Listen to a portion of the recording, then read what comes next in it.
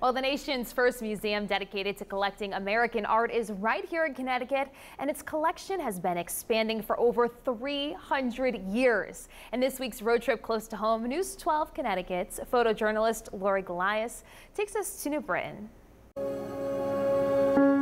We at the New Britain Museum of American Art are the oldest museum in the country dedicated to acquiring American art. As you walk through the first floor, you're really taking a, a trip through time. We're looking at the Arts of Life in America mural series by Thomas Hart Benton, painted in 1932. People walk into this gallery and are immediately just stunned by the amount of color and activity and expression in these fabulous murals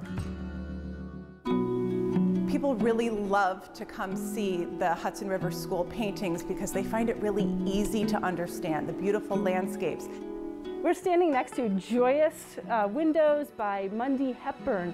He blows glass himself in his studio right in Old Saybrook. He creates some electrical currents and fills these vessels that are really organic and dynamic and colorful themselves with noble gases that then create new colors, um, particularly at night. When you bring a child to an art museum, you are weaving into the fabric of who they are and who they will become. We are looking at an installation from our permanent collection titled People and Places in American Art 1960s through today.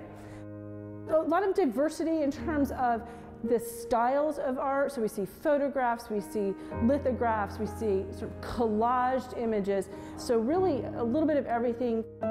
Nothing can truly replace getting right up close to a piece of art to see its texture, to, to feel um, the message that the artist was trying to convey. It's our mission to amplify the voices of America because artists have such broad and diverse points of view and ways of presenting uh, issues in visual format to us, it, we're really able to open up dialogues that might be difficult to have in other places. And you know, museums as public institutions have a role to participate in the civic dialogue. And there's dialogue that we need to have around about race and gender and equity. And in any of these works of art, particularly in this gallery, we're really able to ex expand the conversation, be inclusive, and find a, a, a way to talk together.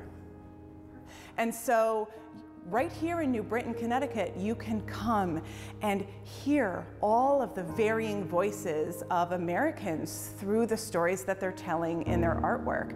And so I think it's a really important place to come and discover and experience in person.